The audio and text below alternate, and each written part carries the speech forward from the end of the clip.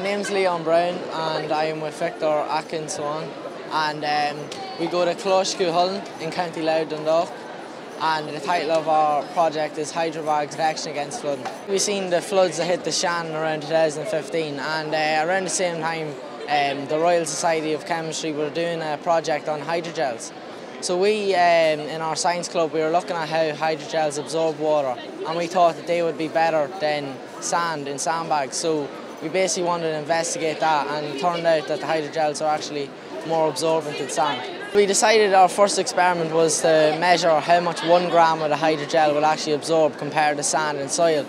And uh, the average of the hydrogel per, uh, absorption per one gram was actually uh, 89 millilitres and the sand was around four and soil was about 16 millilitres. We were actually, we started this around a year and a half ago but like the experiments took a while but it wasn't too long, like it was a few months we did uh, over uh, enrichment time in school. The hydrogel is actually more, way more absorbent than sand.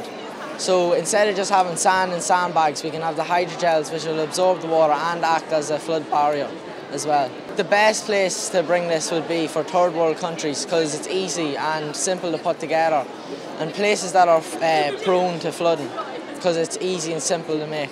I think it's brilliant. There's a lot of projects. I like going around and seeing what other people are doing.